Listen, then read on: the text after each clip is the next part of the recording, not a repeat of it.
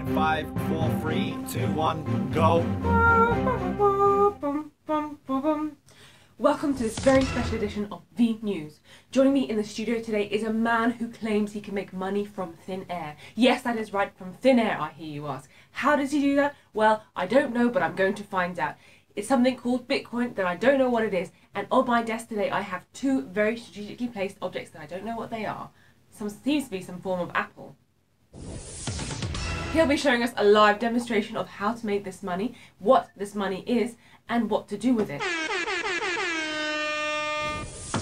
So, with me today is Mr. Ash. Ash is playing with bitcoins. Ash, what is a bitcoin? All right, so Bitcoin is a form of cryptocurrency. It's What's a cryptocurrency? Well, there's loads of different ways to kind of explain it. My thinking on the subject is kind of like stamp collecting. With with bitcoins and other cryptocurrencies, they're called altcoins and all this kind of stuff. Like you might have heard of Ethereum, all these kind of things. They're a form of um, collectible items. Right now, they're called currency. With currency, it's kind of like something that you spend. But a lot of people are viewing them more as assets, things that you collect and hope in the future they might be worth more. Because the thing is with currency, with currency, there's always inflation. For example, they're always printing out new money. Whereas with this cryptocurrency stuff, it's a limited quantity amount. So there isn't, you can't just infinitely create um, coins. It's it's just there's a limited quantity of it, and people find it valuable for some reason. And the way you make it is you got to use um, some computer algorithms, and you can do that using a, a computer with ideally a graphics card or some dedicated hardware. And you yourselves at home, you can get in there and you can um, actually generate money out of thin air, basically. How do you do that? Well, I'll, I'll be giving you a demonstration, and you can use your MacBook, and that will use something called the CPU, the Central Processing Unit, and that will go ahead and run these algorithms. And your computer isn't powerful enough to actually generate these coins on its own, so usually you join up with a club. They're called pools, and they're like a little gang of computers, and they charge you like a minimal fee. And together, if you successfully mine a coin, they will share out the profits. Right, I see. Now, my sources have- advised me that you've been mining for three months now. So, how much money have you actually made? So I haven't actually been mining for three months. I got a, a Mac Pro recently, and uh, I hooked it up with one of these graphics cards. This is a Radeon 580, and this is one of the best uh, value graphics cards if you can get it. I actually got it kind of cheap a few months ago, and it's actually gotten up in value because there was um, a big spike in the value of cryptocurrencies. Cryptocurrencies, they go up and they go down. It's very, very volatile. So, more to the point, I mean, everybody's dying to know how much money have you made? All right, I'll tell you how much money you can make. So right now, as of um, I think it's like the the third of February, on this fella using the CPU only, you're getting about twenty cents a day. Don't laugh. What? twenty cents a day, but the cool thing about it is you're only using an extra ten watts of power. So depending on your electricity bills and all that kind of stuff, you could be making some, some money. well, so okay, it's not that much money. With this guy, you can make about three dollars a day. And with me, I've, I've hooked it up with a, a Mac Pro from 2010. It's just running in the background, and that gets about four dollars a day. Okay, it's not much money. It's a bit of a laugh. Don't like I wouldn't seriously be mining to generate money, but a lot of people do it because um, it's not about the value of the coins today. It's more about how much will it be worth potentially in the future. For example, um, Bitcoin, if you look at it last year, it was worth about thousand dollars, whereas right now it's trading at nine thousand dollars, which is like nine x over a year. So potentially these coins in like 10, 20, 50 years time, if the technology is still viable, it might be worth something. It's kind of like stamp stamp collecting. If you want to make money, really, some invest. Well, it's gambling. You could make some good money there. I'm not saying you should invest because it is a bit of a gamble, but that's where you probably will get most of the money out there. Just buy the coins and hold on to it and hope that it goes up. But if if you're just playing around, if you have a computer system like a gaming machine, check this out. this is just for fun. I'm gonna put on something called Minergate, and I'm just gonna mine some cryptocurrencies. So I'm gonna do some Bitcoin and I'm gonna do some Zcash. Zcash is gonna be running on a GPU. We've got about 200 solutions a second, and Bitcoin is on the CPU, five cores. I'm going to make it six, so all six cores are going to be using it, and it's going about 130 hashes a second. I'm going to go into Batman and see how that copes. You know, part of me wishes he was still alive. Look at that. Joker. I found that I can actually be playing games on my computer and I could be mining in the background and the games still run fast and the computer isn't using any more electricity than it would when playing games. I see. Now, some people have said that our homeboy 50 Cent is actually a Bitcoin millionaire. How has he managed to do that? Does he have like a whole load of computers mining? so you, you call that press? No, um, so a few I'm a years news ago, presenter, of course I did. a few, few years ago, he sold um, an album and he allowed people to buy it using Bitcoin. Ah. So from the sales of Bitcoin that he completely forgot about, apparently, he realized that it was worth a couple of million. So, so the reason why the price goes up and down is people are buying and selling. So maybe um, it went up because a lot of people, when it hit the ten thousand k mark, that was like a record for it. So a lot of people found about found out about it and they started buying it, and then it shot to like twenty k, and then everyone realized, oh my god, that's a lot of money. Sell, sell, sell, sell, sell. All the rich people that forgot about their Bitcoin started selling, and now it's gone down to nine k. But it's constantly going up and down. So we'll see how it goes the next few months.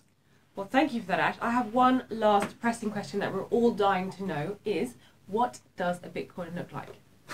so it's, it's it's completely virtual. It's um, you get this um thing called a wallet, and it's an electronic wallet, and it's just um a really long address. So it's like A seven nine zero zero zero all the, all these crazy numbers, and it's actually tied to your computer or the system that's using it.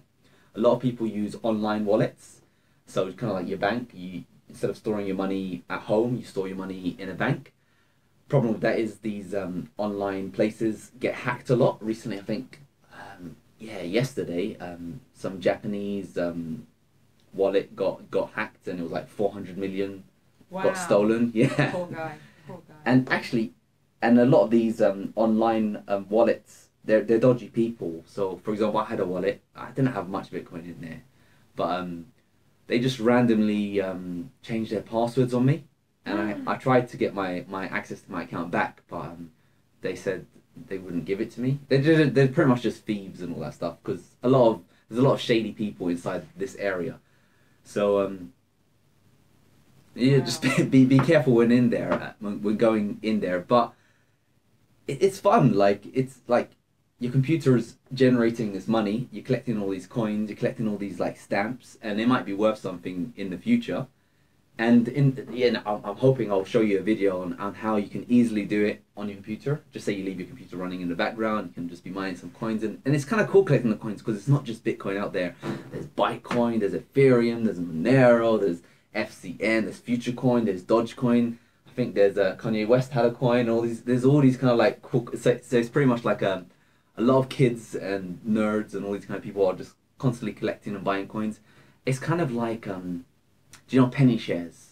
Oh, okay. With the stock market, there's there's lots of penny shares. You just buy a couple of penny shares and just hope that it goes up in value. So there's a lot of lot of coins that are like worth 0.0005 USD, and if they go up to like to five cents, you've just made like a thousand x. Actually, I got um, I bought I bought this um random coin. I forget what it was called. XRP.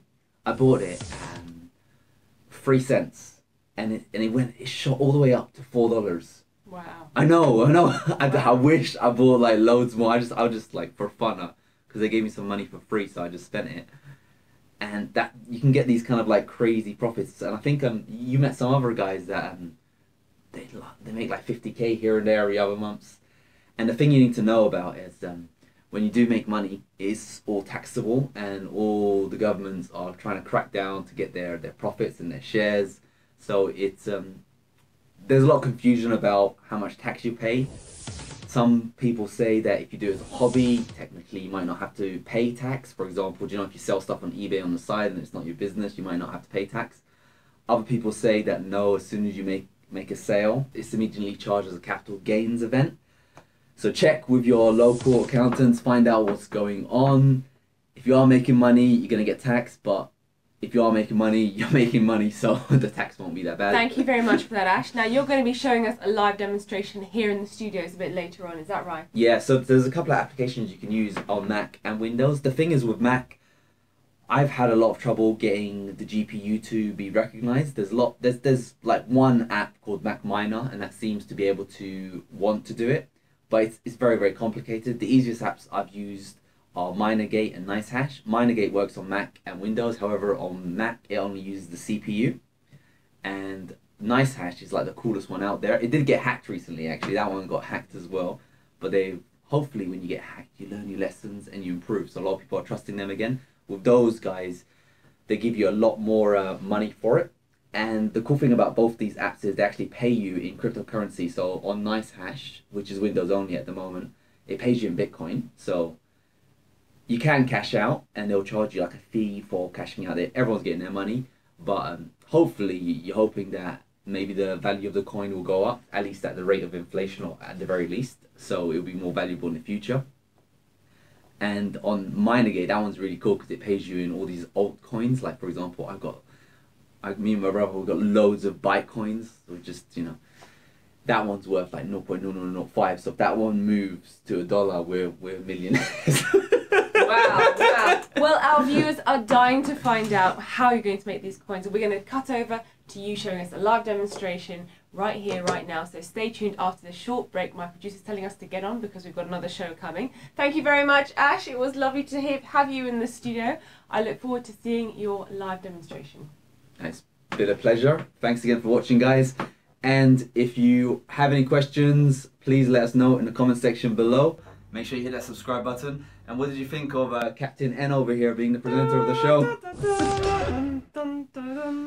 So the cool thing about her is she doesn't know anything about Bitcoin and cryptocurrency. So I figured just asking her to ask me some questions might be useful because a lot of people don't know what Bitcoin is. I don't even know what Bitcoin is. I still actually don't understand it really, but you know, I understand that it's something in the virtual world that can give you money, which is You seem more relaxed now. That's cool. So the things with Bitcoin, it's just some shady way for illegal organizations and um, mafia and all that kind of stuff to shift money. Okay. That's the truth. That's the truth because um, you get a lot of people because because the the best thing about these cryptocurrency is they're harder to trace than normal bank transfers. Mm. So money can be shifted left, right, and center, getting sent out. So a lot of rich Chinese people that want to shift money outside of the country without the government cracking down on them, and they use Bitcoin. In in Venezuela, when the inflation was going up like crazy, a lot of people bought Bitcoin because the thing is with these countries, it's a lot harder to buy currencies. Like for example, if you want to buy Australian dollars or USD from countries that don't allow you to buy USD or Australian dollars, you're pretty much stuck. So you need to use these background channels. So a lot of these currencies have been used for those kind of means. A lot of been used has have a lot of these methods have been used for um, selling sex, selling weapons, a lot of dodgy bad things. So you know, it actually goes to the question like, is this stuff halal? You know, is it is it is it good for the world? but this is a whole different topic, and we don't have time to cover that You today. know, it's, it's actually interesting. It's, it's I mean, I, I guess it depends on how you view it. With money, when money first started, cash, a lot of people said that that was used for bad things, and eventually, knives that could be used for bad things. I haven't had any coffee. It's two a.m. She's All had right, coffee. let's go. Let's rock and roll. Thank you very much for joining us. I don't usually do this in in my uh, news presentations, but I'm going to give you a kiss. Thank you.